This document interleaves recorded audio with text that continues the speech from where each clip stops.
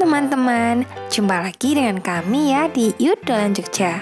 Kali ini kami mau review tempat main asik di Jogja. Tempat ini termasuk baru loh. Kayak apa sih? Yuk langsung aja kita lihat ya. Nama tempatnya adalah Puncak Pecici Kami sudah ada di pintu depannya dan siap untuk masuk ke dalam. Oke langsung aja ya kita masuk ke dalam di sini teman-teman ada banyak pedagang yang menawarkan aneka keperluan kita seperti kacamata, aneka souvenir, dan juga aneka makanan kecil juga makanan berat. Jadi dijamin enak deh jalan-jalan ke sini. Terus harganya juga sangat hemat loh teman-teman. Cheers nih sedang minum dan makan bakso nih teman-teman.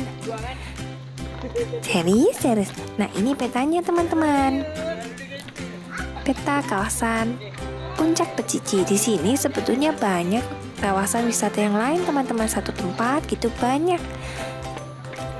Nah, ini dia.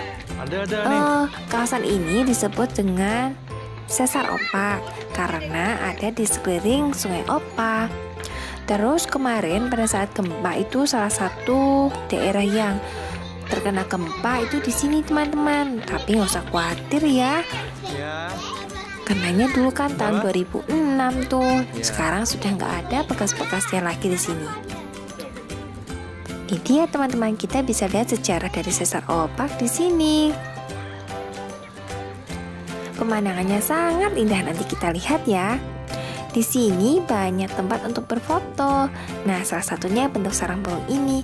Jadi, kalau misalnya ada foto-foto orang sedang di Jogja dan foto di sarang burung, Di sinilah mereka berfoto teman-teman. Pemandangannya sangat indah kalau kita lihat dari atas sini teman-teman. Terus udaranya juga sangat segar karena banyak pepohonan pinus ya.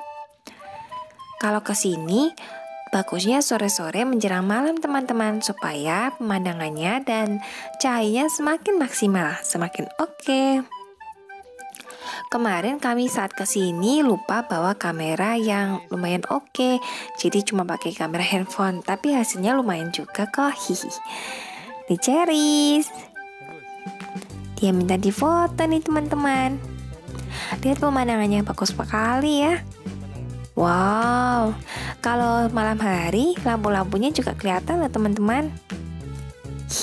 Cherry, Cherry mau minta difoto tuh dia. Gimana teman-teman? Wisata ini oke banget kan? Apalagi kalau teman-teman suka wisata alam. Oh ya, ini hasil fotonya dari Ceris. Ya, belum gitu oke sih, tapi lumayan lah. Karena kemarin agak buru-buru juga.